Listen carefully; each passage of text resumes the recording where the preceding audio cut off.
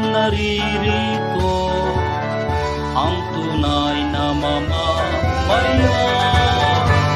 Sa timog manukanluran ay pilit kang tinutularan. O bayan kong minamahal, sanang tunay mabuhay. Ang bayang At ingatan ang kanyang at ikain Sa ganda'y yaman niya't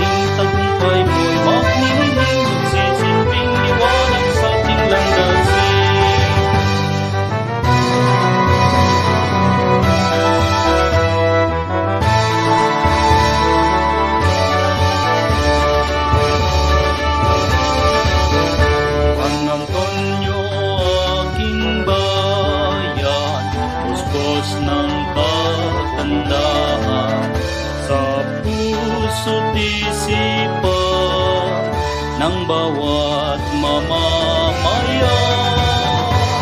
Kaya't ating ikarangal ang pangalan niyang